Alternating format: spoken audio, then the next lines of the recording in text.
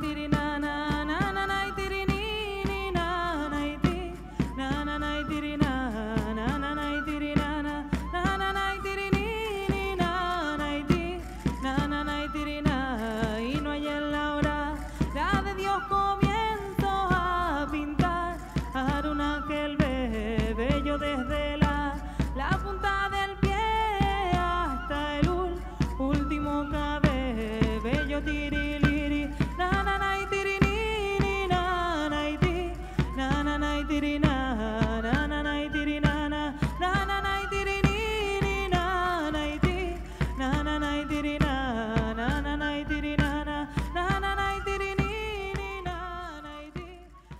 Las ceras sirven para trillar, para trillar eh, cebada, trigo. Esto siempre de todo lo que hay aquí por lo menos se cogían cinco o seis panegaditas de, cebada, cinco o seis de trigo. Unos cogerían dos paneguitas, depende de lo que, lo que sembraran, ¿no?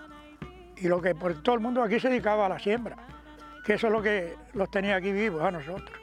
Agosto siempre, cuando el calor es cuando se recogía la, todo se arrancaba y se, y se, araba, se sembraba aquí, digo, se trillaba y toda esa vaina, con el tiempo, el calor. Aquí había quien tirara un burrito para trillar, ¿no? Se amarraba el cogote del burro y usted agarraba el burro por la rienda y pegaba a trillar alrededor ahí, los burros ahí trillando hasta que escallaran un poco la paz. Entonces le metió en el trillo, se montaba usted en el trillo, ese es el trillo, eso el trillo comía todo, eso chascaba todo, porque el trillo empedrado era como esto. Ponía aquí un, palito con, un, con una señal, no ve el viento que me está tocando, con un, rejito blanco amarrado, delgadito, como una bandera, y cuando usted allá la banderita meneando, se venga, uno de allá con un gancho, habían dos, uno de allí y otro de acá, aventando para arriba y, la parva para arriba, ¿no? Si el viento estaba allí, la iban preparando aquí.